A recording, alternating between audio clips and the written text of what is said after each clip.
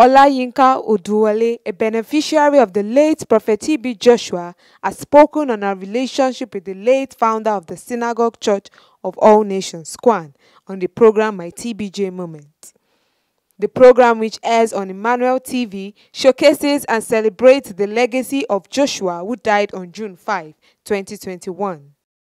Speaking with the founder of Goge Africa, Isaac Moses, Oduwole recalled her first encounter with her mentor, adding that she started as a youth worker in the mega church. She said, quote, My journey with the prophet started more than a decade now. The journey started as a youth worker in the youth department with SCOAN. We were responsible for the smooth running of the Sunday services. During one of the youth encounters, I met him. He asked me about my background and my education. At that moment, he took special care and attention about my education and spiritual background.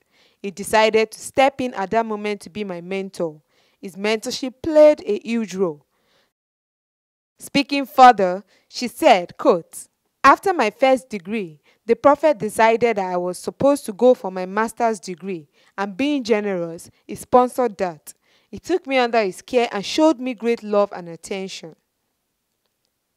Oduwole, who works in a major telecoms company in the UK, revealed that she used to work as one of the televangelist secretaries whenever she was in the country, noting that it was his way of teaching her humility.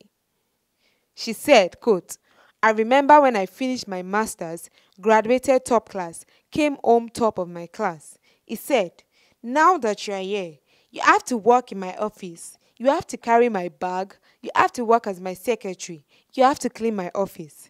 It really brought me down. This was after my master's and during my doctorate. In SCOAN, you have to be humble.